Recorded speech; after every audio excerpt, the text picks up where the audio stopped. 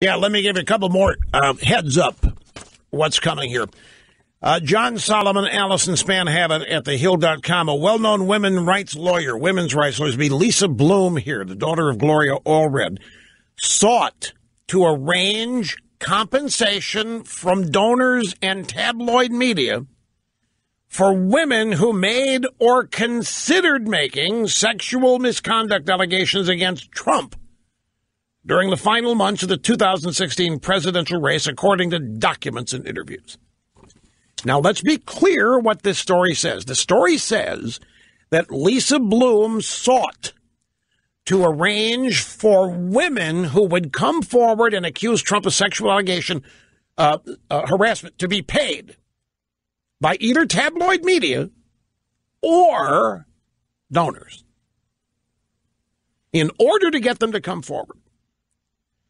She offered to sell alleged victims' stories to TV outlets in return for a commission for herself. She'd arrange a donor to pay off one Trump accuser's mortgage and attempt to secure a six figure payment for another woman who declined to come forward after being ordered, offered as much as $750,000. Now, wait. This story does not say the women were lying. It doesn't go that far. The story makes it seem as though these women were women who had legitimate alleged complaints.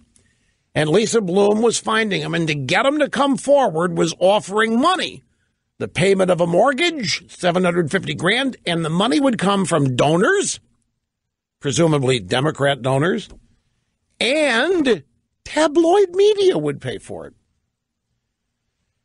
Now,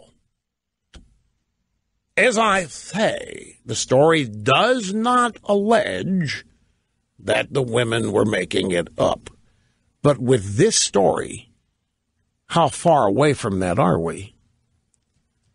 With this story, with a with an anti-Trump female lawyer offering to pay women to come forward with stories about being harassed or abused by Trump. How far are we away from somebody offering women to make up such stories and be paid for it? Seems to me we're not far from that if we at least know that this happened.